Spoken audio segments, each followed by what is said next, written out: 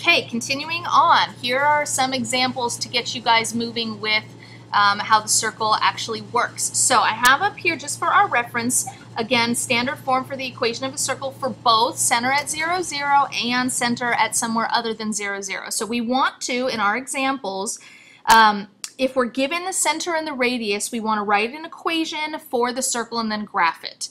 Okay, so let's start with, now keep in mind, you actually don't need the equation to graph. You need the center and you need the radius. That's all you need to graph a circle, but um, sometimes you'll be given an equation and you have to be able to identify the center and radius and then graph from there. So we're just going to start out by writing an equation and then graphing, okay? So if we look, this first example, r equals 3, so the radius is 3 and the center is at 0, 0. So if we look up here, standard form for the equation of a circle with center at 0, 0 is x squared plus y squared equals r squared. So that's where we're going to start. So x squared plus y squared equals r squared. Okay, so the fact that there's nothing being subtracted from or added to the x and the y individually means that we've taken care of the center at 0, 0 part.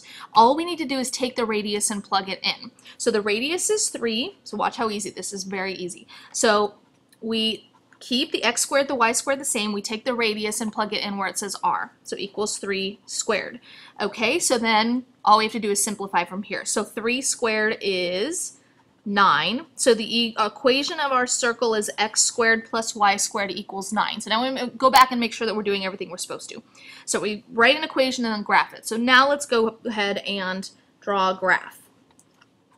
Okay, so we need the x-axis, we need the y-axis. Okay, so if the center is at 0, 0, we're going to start by putting a dot there. That's always where you want to start with all conic sections to graph them is at the center. Okay, so the trend throughout all of these is going to be generally the same. The process changes a little bit because we have different shapes, but you always start by putting the center on the graph.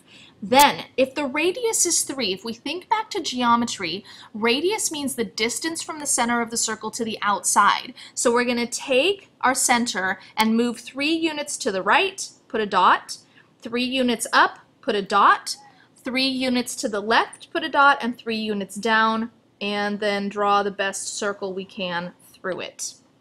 Right? Easy. Okay, so let's keep on moving. Again, please make sure you guys are writing questions down in the margins so that you can ask them in class tomorrow. Okay, we'll have some time in the very beginning to do a little bit of a Q&A session. All right, so same set of directions here. We are given a radius and a center of a circle. We want to write the equation for the circle, and then we want to graph it.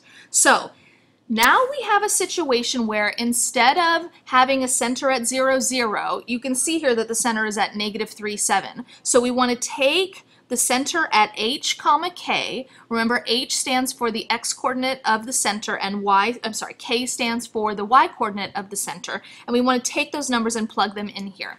Okay, so let's start with that. So we're just going to just copy this x minus h squared plus y minus k squared equals r squared down onto our paper. And then we're just going to go through and again plug things in. So h represents the x coordinate of the center, k represents the y coordinate of the center. So let's actually go through and plug those in. So x minus, it's a negative 3, so some of you who just want to jump ahead and make that a plus, go right ahead and do that. And the k is 7, so y minus 7 squared. And then again, the radius is 5, so we're just going to plug that in. And now we want to go through and make sure that we have it completely simplified. So a negative right next to another negative turns into a positive. So make that a positive. y minus 7, that's about as uh, simplified as that's going to get. So we'll leave that the same. And then 5 squared is 25. So that's the equation of the circle. And now let's go ahead and draw the graph. So if we know that the center of the circle is going to be at negative 3, positive 7, we don't want to make our axes centered at 0, 0. We're going to have to be up and to the left a little bit. So let's make sure that we take that into account when we're drawing our coordinate system here. Okay, so x coordinate, or excuse me, x axis and y axis. And So again, we always start with the center. The center in this case is negative 3, positive 7.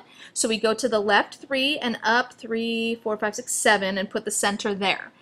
Then the radius in this case is 5. So from the center, we're going to go 5 units to the right, 5 units to the left, 5 up, and 5 down, and then connect all of those points with a circle. Okay? So from the center, 1, 2, 3, 4, 5 units to the right, back to the center. Up, 1, 2, 3, 4, 5. And then 1, 2, 3, 4, 5 to the left, 1, 2, 3, 4, 5 down, and we're going to connect those. Not the best circle on the planet, but you guys get the picture, right? Okay, so let's move on to the next type of example that you all are going to see. Okay, now you might end up with some problems in your homework that have fractions or they have radicals to begin with for the radius. That doesn't mean that you're doing things any differently. You just have to approximate a little bit more when you're graphing. Okay? All right, so now, again, I've got the uh, the standard forms up here for reference as we work through these problems. All we're being asked to do in the next few examples is find the center and the radius, okay? So, if we look, this one, anytime you see something being added to or subtracted from x, you know that you have a center that's somewhere other than 0, 0. It's only when you have x squared by itself or y squared by itself that you have a center at 0, 0 or 0 and some other coordinate, okay? So, what we want to do is look at the um, numbers that are being added to and subtracted from x and y, and remember those represent h and k. Okay, so that's how we're going to find the center. So because the relationship that we have here is x minus h, and then y minus k. The only way we're going to end up getting a plus 1 here is if we have x minus negative 1. So the x coordinate for the center is actually negative 1. And then the same thing with the y. The only way that we're going to get y minus 3 is if we plug in a positive 3 for the k coordinate. Okay, so the center is at negative 1 positive 3. So one, just kind of an easy way to remember it, is you always flip the signs of whatever is inside the parentheses to find the center. Okay, so that's the first piece of it.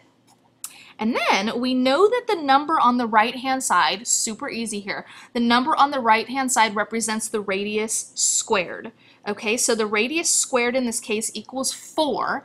So the way we get r by itself, the opposite of squaring, we learned this a long time ago, the opposite of squaring is taking the square root of both sides. So the radius in this case is 2. Ta-da! Not too bad, right? Okay, so let's move on to the next one. Same set of instructions, but a different problem. In this case, I didn't want to waste a whole nother piece of paper, so sorry for that. That is not part of the problem. Okay, so in this case, we kind of have a combination of these two scenarios going on. We've got x squared by itself, and then we have y with something added to it. So that's, we're looking at a combination of both of these. So we're again going to look at these numbers to find the center, and if there's nothing being added to or subtracted from x, then it's safe to assume or recognize that the center, um, the coordinate of the x, the x coordinate is going to be 0, okay, because there's nothing being added to or subtracted from it.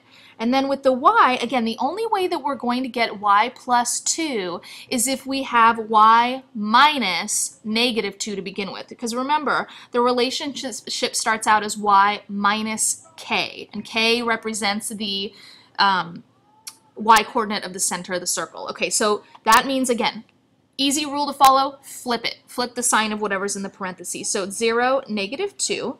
That's half of it. And then, if the number on the right represents the radius squared, then the opposite of squaring is square root. And the radius in this case is 3. Right? Questions? Yeah, that's right. I'm so used to asking that in class. So no, no questions. Write them down in the margins and then we will address them tomorrow in class. All right, so last problem. Last problem, and then I'm going to give you a few extra credit problems so that you can try them on your own.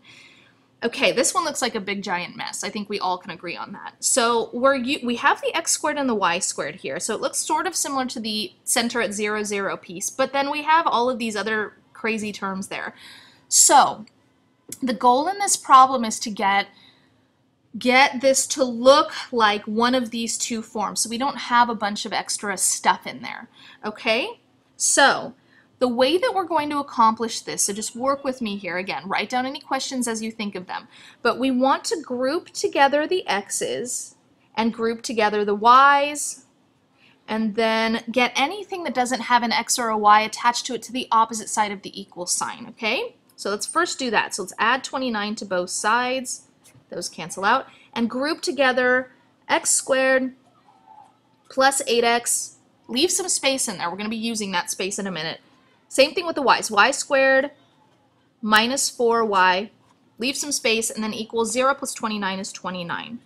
So, remember back when we were learning completing the square, I said, we're going to use this again. You have to remember this. Well, this is where it comes back to revisit us. I'm not going to say haunt, because I know that's what you're all thinking, but it's not haunting us. Okay, we're just revisiting. Okay, so let's just quickly review. If I want to complete the square, x squared plus 8x, all I have to do is take half of 8, which is 4, and 4 squared is 16. And I add that right here. So that creates a perfect square trinomial. Remember to do that, to make sure the equation is still balanced, I have to add 16 to the other side as well. Now I want to complete the y square as well. So half of negative 4 is negative 2, negative 2 squared is 4. So I add 4 over here. Okay, so perfect square trinomials, remember they factor so that they should look something like this. Okay, so we take x squared, the square root of x squared is x, the square root of 16 is 4, and it's positive because we have a plus right here. Same thing with this one, the square root of y squared is y, the square root of 4 is 2. Because this is a minus, we bring that minus down. On the right-hand side, we add all this together to get 49. And now we have it in a form that looks very similar to center at HK. Not very similar, it's actually exactly the same. So this is our equation. Now, to find the center, we're going to look at these two numbers. So the center, again, flip the signs. Flip them, opposite signs of what's here. So the center is at negative 4, comma, positive, whoops, positive 2. Sorry about that. Lost my pen there. It got away from me. Negative 4, positive 2. Okay, and then again, the number on the right-hand side, that represents the radius squared. So if the radius squared is 49, opposite of squaring is square root. So the radius here is 7. Okay? So that would say, I, that's about as complicated as um, these problems get. So Again, please make sure that you have written all your questions down in the margin. Feel free to go back and relook at any of these if you would like. Um, and then let me give you guys some extra credit problems so that you can work through them tonight if you would like some extra credit. Had to get rid of the math money, so this is the alternative at this point. So the extra credit that you are able to do for tomorrow is these four problems. And I'm going to cut it off there. And Again, I hope you guys wrote down all your questions. I will see you all tomorrow in class.